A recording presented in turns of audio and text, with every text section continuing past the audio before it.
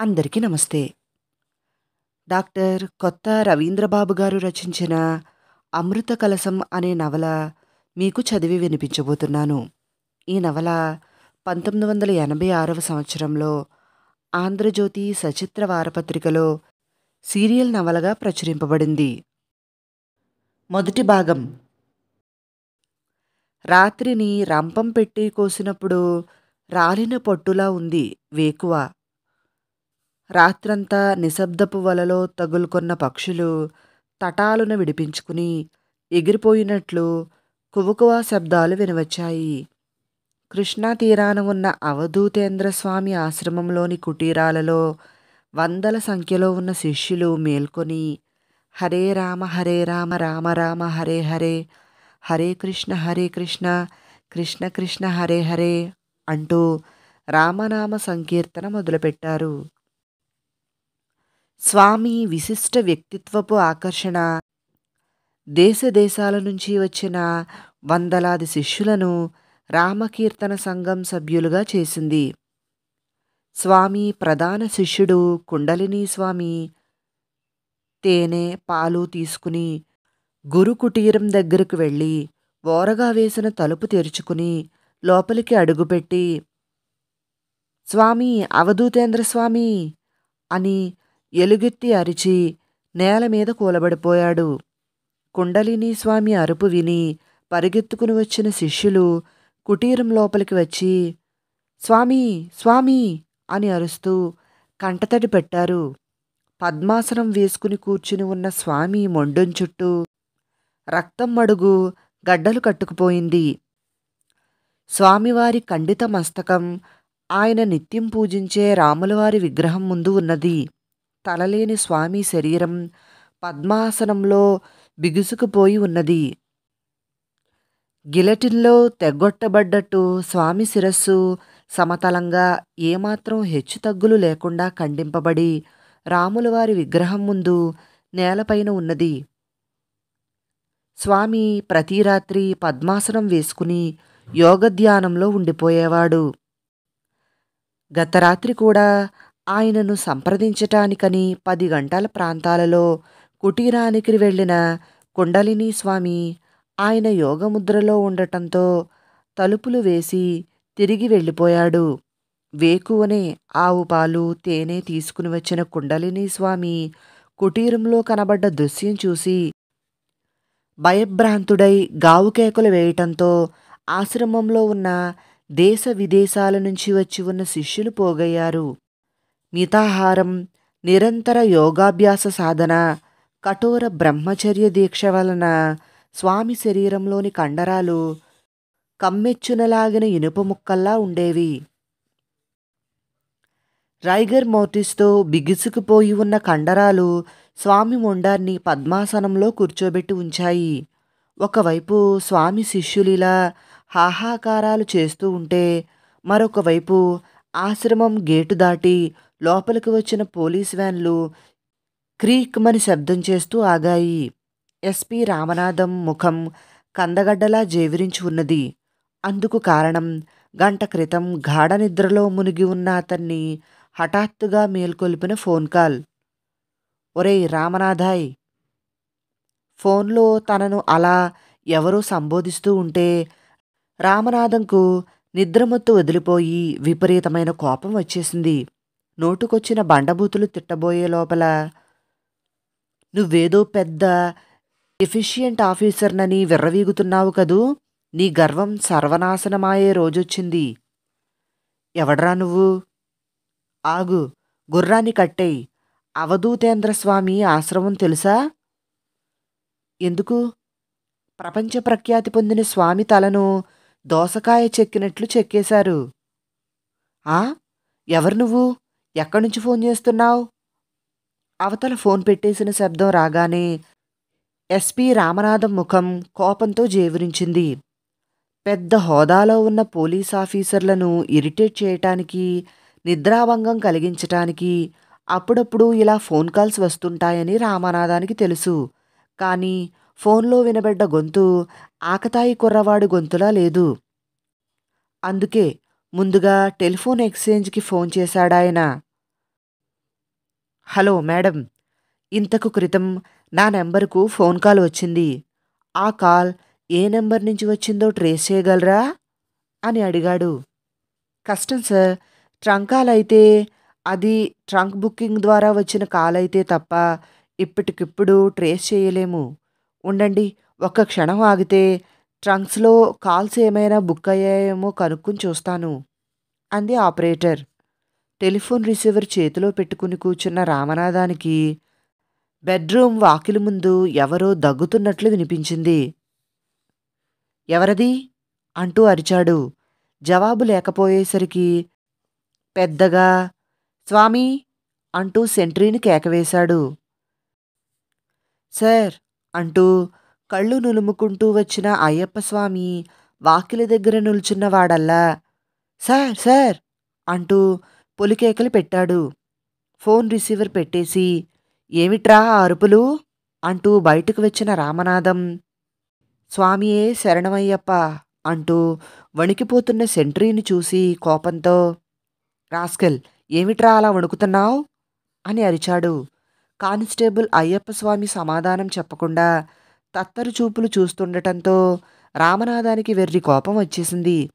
అంతలో క్రింగ్ క్రింగ్ అంటూ phone ring అవడంతో లోపలికి వచ్చాడు Ramanatham. Telephone operator Manjula sir మీకు ఇందాక వచ్చిన కాల్ నూజివీడు త్రిబుల్ ఫోర్ నుంచి చేశారు అన్నది. థ్యాంక్స్ అన్నాడు రామనాథం. ప్లెజర్ ఈజ్ మైండ్ అంటూ ఫోన్ పెట్టేసింది ఆపరేటర్. అప్పుడు గాని గుర్తు రాలేదు రామనాథానికి. త్రిబుల్ ఫోర్ నూజివీడు సిఏ ఇంటి నెంబర్ అని అతను మద్రాసులో ఆపరేషన్ చేయించుకోవటానికై క్రితం రోజే రిలీవ్ అయి వెళ్ళిపోయాడని. రామనాథం ముఖం వెలవెలా పోయింది. తన కింద పనిచేసే సీఏ ఇంటి నుంచి తనకి ఫోన్ చేశారెవరో? ఎంత అవమానం! తల కొట్టేసినట్లు బాధపడ్డారాయన సార్! వాకిట్లో సెంట్రీ అరుపులకు విసుక్కుంటూ లేచి వెళ్ళాడు రామనాథం ఏమిటి? అన్నట్లు కోపంగా చూశాడు అతని వంక. పెనుగాలిలో తీగలా వణికిపోతూ వాకిలి ఎడం వైపుకు చూపిస్తూ ఉంటే అటు చూశాడు రామనాథం రామనాథం గుండె జల్లుమన్నది.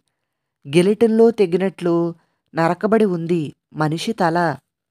మనసులోని అలజడిని ప్రయత్నం మీద అణుచుకుని రే స్వామి ఏమిటా వణుకు? మనిషి తలకాయనెప్పుడూ చూడనివాడిలా ఏమిటా భయం? వెంటనే సిఐ కృష్ణని సిఐ రావుని నేను అర్జెంటుగా రమ్మన్నానని ఫోన్ చేసి చెప్పు అన్నాడు. ఎస్పీ అరుపులకు స్వామి మనసులో ఉన్న భయం సగం పోయింది. రామనాథం గారు చెప్పినట్లు సిఐలిద్దరికీ ఫోన్ చేశాడతను. రామనాథం డ్రెస్ మార్చుకుని యూనిఫామ్లో వచ్చి సోఫాలో కూర్చున్నాడు. స్వామి కంఠంలో వినబడ్డ ఆదుర్ద గమనించి సిఐ కృష్ణ సిఐ రావులిద్దరూ మోటార్ బైక్ మీద ఐదు నిమిషాలలో రామనాథం బంగ్లా చేరుకున్నారు. గాలికి వణికే గడ్డిపోచలా గజగజలాడుతున్న స్వామిని వాకిట్లో ఉన్న ఖండిత మస్తిష్కాన్ని చూడగానే ఎలర్ట్ అయిపోయారిద్దరూ. ఎస్పీకి ఎదురుగా నిలబడి సెల్యూట్ చేశారు. కూర్చోండి అన్నాడు రామనాథం అర్జెంటుగా అవధూతేంద్ర స్వామి ఆశ్రమానికి బయలుదేరి వెళ్ళాలి. స్వామిని కూనీ చేశారని ఫోన్ చేశారెవరో ఇంతకు ముందే. వాకిట్లో మనిషి తల పడేసి వెళ్ళారు సెలవు పెట్టి వెళ్ళిన నూజివీడు సీఏ ఇంటి నుంచి నాకు ఫోన్ చేశారు. మన ఫోర్సును నిమిషాల మీద అలర్ట్ చేయండి. ఐడి పార్టీ వాళ్ళని పిలిచి వాకిట్లో ఉన్న శిరస్సును గురించి వాకప్ చేయించండి. కమాన్ లెట్స్ బి అలర్ట్ అని చెప్పి బయలుదేరాడు ఎస్పీ రామనాథం. ఎస్పీ బంగళాకు పది మైళ్ళ దూరంలో ఉన్న అవధూతేంద్ర స్వామి ఆశ్రమానికి వ్యాన్లు చేరుకున్న వెంటనే ఎస్పీ స్వామి కుటీరంలోనికి వెళ్ళాడు. పోలీసులను చూడగానే కుటీరంలోని శిష్యులు బయటకు వచ్చేశారు. రామనాథం పద్మాసనంలో గోడకి ఆనుకుని ఉన్న స్వామి మొండాన్ని రాములవారి విగ్రహం ముందున్న తలను మార్చి మార్చి చూశాడు. అంతే జేవురించి ఉన్న ఎస్పీ ముఖంలో రక్తం అంతర్ధానమైపోయింది. సున్నం పిడతల ముఖం వెలవెలాబోయింది ఇందాక తన బంగళా వాకిలి ముందు ఉన్న శిరస్సు స్వామి శిరస్సు ఒకే రకంగా ఉన్నాయి. కనుముక్కు తీరు పోలికలు అచ్చం ఒకే విధంగా ఉన్నాయి. ఈ రెండింటిలో అసలు స్వామి శిరస్సేది? అన్న ప్రశ్న రామనాథం మనసును అల్లకల్లోలం చేసి వేధించసాగింది. రెండో శిరస్సు యొక్క మొండెం ఎక్కడ ఉన్నది? ఇన్ని వేల మంది శిష్యులు నిరంతరం తిరుగుతూ ఉండే ఆశ్రమంలో స్వామిని హత్య చేశారంటే అది సామాన్యుల పని కాదు. నూజివీడు సీఏ ఇంటి నుంచి తనకు ఫోన్ చేశారన్నా స్వామి తలను పోలిన తలను తెచ్చి తన బంగళా ముందు వేశారన్నా. అది మామూలు విషయం కాదు. ఆశ్రమం ఆవరణలో కలకలం బయలుదేరింది. చుట్టుపక్కల గ్రామాల నుంచి వచ్చిన ప్రజలతో ఆవరణ నిండిపోతూ ఉన్నది. పోలీసులను లెక్క చేయకుండా జనం తోసుకురాసాగారు. క్షణాలలో పెరిగిపోతున్న జనసమూహాన్ని చూడగానే కర్తవ్యం గుర్తొచ్చింది రామనాథానికి. సిఐ కృష్ణతో వెంటనే స్వామీజీ మొండాన్ని తలను స్వాధీనం చేసుకుని పోస్టుమార్టం చేయించండి అన్నాడు. సిఏ రావుని పిలిచి బంగళా దగ్గర ఉన్న తల తాలూకు మొండం ఆచూకీ తీయండి అని చెప్పి జీపులో వెళ్ళిపోయాడు. ఆయన అలా వెళ్ళిపోవటం మంచిదైంది ఆయన జీపు వెళ్ళిన గంటలోపుగానే మూడు కార్లలో వి విజయవాడలోని పత్రికా విలేకరులు వచ్చారు. ఆయన ఉన్నట్లయితే సమాధానం దొరకని క్లిష్ట ప్రశ్నలు వేసి వాళ్ళు వేధించి ఉండేవారు ఆయన్ను. పత్రికా విలేకరులు రావటానికి ముందే కుటీరం తలుపు వేసి స్టాఫ్ ఫోటోగ్రాఫర్ చేత కుటీరం లోపలి భాగం వివిధ కోణాల నుంచి ఫోటోలు తీయించాడు సిఏ కృష్ణ. రైగర్ మార్టిస్ వచ్చి నీలుక్కుపోయి ఉన్న స్వామి మొండాన్ని తలను ఆంబులెన్స్లో వేయించి మార్చురీ దగ్గరికి పంపించాడు. స్వామి కుటీరం తలుపులు మూసి తాళం వేయించి సెంట్రీలను కాపుగా ఉంచి పోలీస్ వ్యాన్లో ఆంబులెన్స్ వెనకాల వెళ్ళిపోయాడు. వ్యాను ఆంబులెన్స్ వెళ్ళిన రెండు నిమిషాలకు విలేకరుల కార్లు వచ్చాయి. తలుపు తాళం వేసి ఉన్న స్వామి కుటీరాన్ని ఫోటోలు తీసుకోవటం మినహా మరేమీ చెయ్యలేకపోయారు పత్రికా విలేకరులు. స్వామి హత్య గురించిన వార్త నిమిషాల ముందు తెలిసినట్లయితే ఎంత బావుండేది? అనుకోసాగారు. ప్రశ్నించటానికి ఎవరూ దొరక్కపోయేసరికి ఒకరినొకరు ప్రశ్నించుకోసాగారు. అందరికీ ఫోన్లో ఒకే రకమైన వార్త ఇచ్చిన వ్యక్తి ఎవరో అర్థం కాలేదు వాళ్ళకు. ఆశ్రమం నుండే స్వామి శిష్యుడు కుండలిని స్వామి ఫోన్ చేశాడేమోనన్న అనుమానం వచ్చి ఆయన కోసం వెతికారు విలేకరులు. ఇసుక వేస్తే రాలకుండా కిటకిటలాడుతున్న జనసందోహంలో కుండలిని స్వామివారి ఆచూకీ దొరకలేదు వారికి. అంతమంది నిస్సహాయంగా చూస్తూ ఉండిపోవాల్సి వచ్చిందే కానీ హత్య కూర్చిన వివరాలు ఎవరిని అడగాలో ఎలా అడగాలో తెలియలేదు వారికి.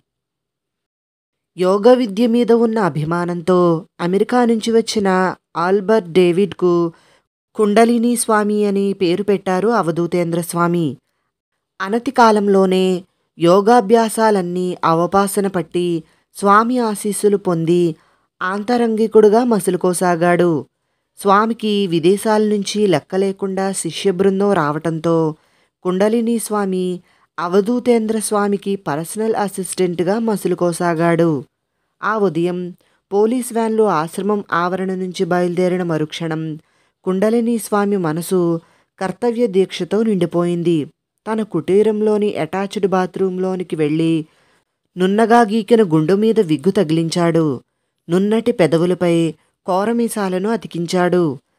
కాషాయ వస్త్రాలు విడిచిపెట్టి గ్లాస్కో పంచ సిల్క్ లాల్చి తొడుక్కున్నాడు.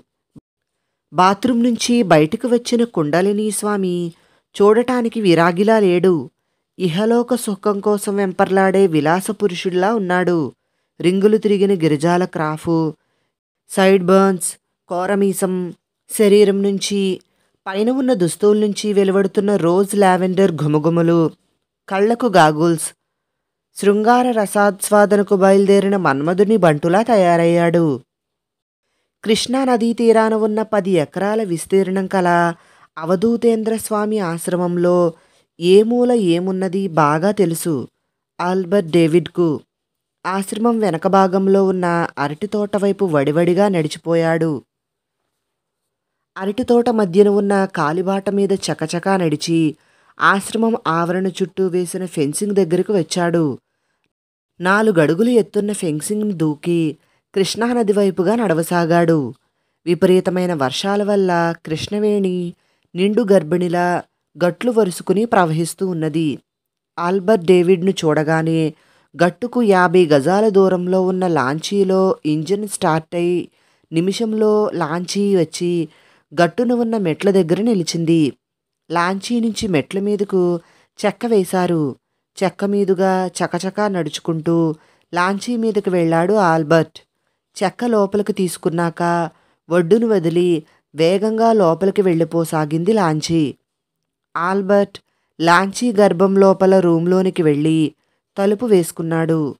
లోపల ఉన్న పవర్ఫుల్ ట్రాన్స్మిటర్ స్విచ్ ఆన్ చేసి hello? Hello? Casanova speaking from the river అన్నాడు. ప్రొసీడ్ అని వినబడగానే operation Topaz successful. Good. Get into the shell అని వినబడగానే ఆల్బర్ట్ ముఖంలో సంతోషం వెల్లివిరిసింది. లాంచీ పైభాగానికి వచ్చి లాంచీని ఒడ్డుకు చేర్చండి అన్నాడు ఆల్బర్ట్. పది నిమిషాలలో అర మైలు ముందుకు వెళ్ళిన లాంచీ ఒడ్డుకు చేరింది. లాంచీ దిగగానే ఆటోల వాళ్ళు ఎదురయ్యారు ఆల్బర్ట్కు. ఆటోలో ఎక్కి రామవరప్పాడు వైపు పోని అన్నాడు.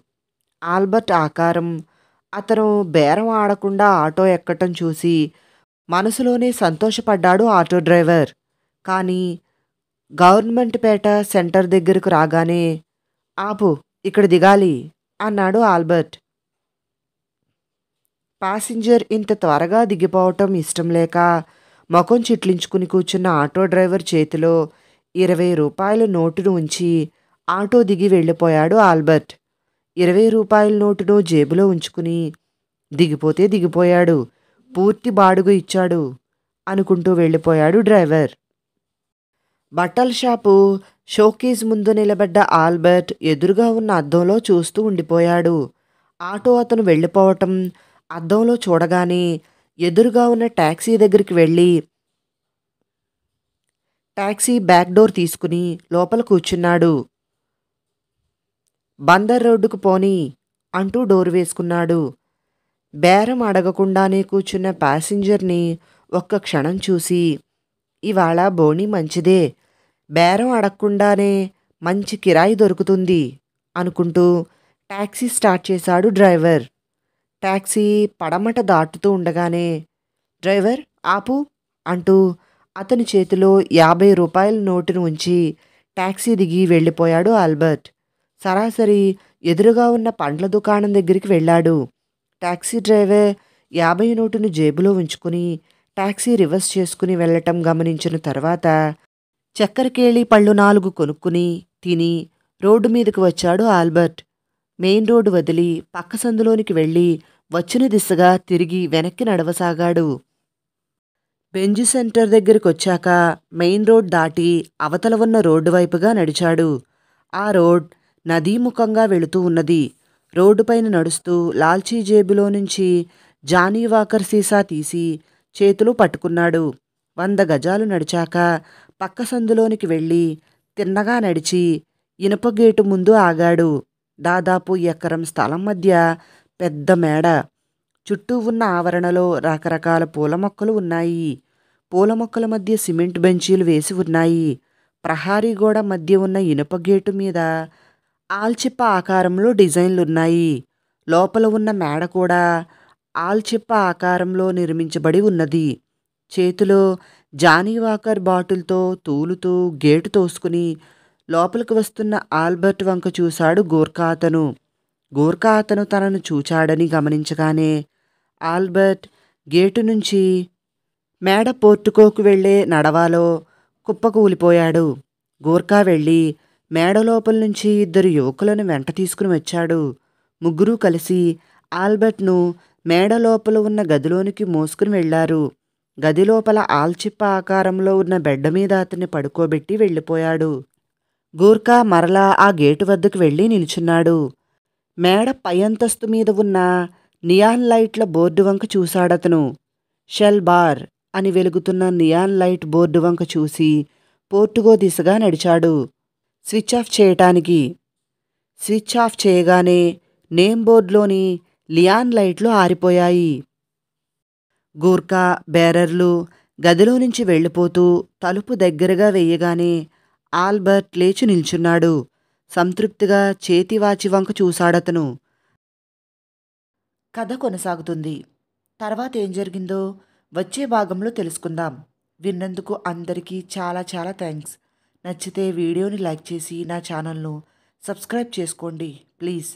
మరిన్ని కథలు నవలల కోసం డిస్క్రిప్షన్లో మరియు కమెంట్ బాక్స్లో ప్లేలిస్ట్లో లింక్స్ ఉన్నాయి ఒకసారి చూడండి.